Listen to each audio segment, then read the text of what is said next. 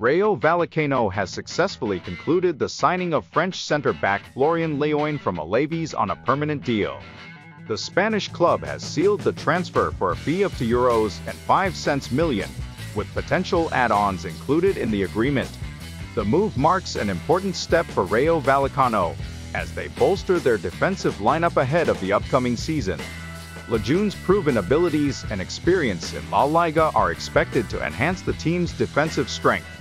The 30-year-old defender will commit to a contract with Rayo Vallecano until June 2026, providing stability and quality in the backline for the club.